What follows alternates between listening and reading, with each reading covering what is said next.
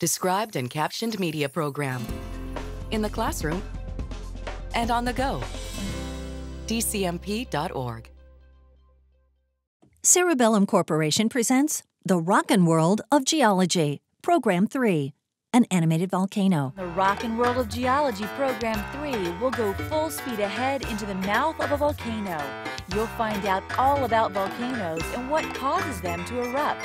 We'll also look at lava, pyroclastic materials, and the infamous Ring of Fire.